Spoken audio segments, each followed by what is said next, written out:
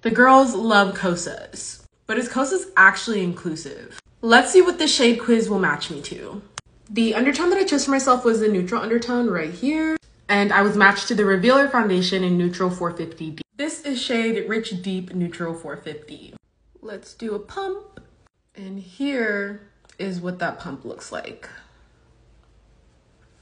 The product does have SPF in it, which of course, understandably, SPF in darker tones usually lead towards lighter colors. Is it impossible to make a shade with SPF that's dark enough for darker complexions? No, it's not impossible. But this, this is a reach. When companies come out with complexion products, when a company comes out with complexion products, I think it's important to make sure that you are being inclusive in your shade range. This cannot be your stopping point. Even if the product has SPF in it, I just don't really think that's an excuse anymore to not make shades for people with darker complexion. You just really cannot claim to be inclusive when this is your darkest shade. Please do better.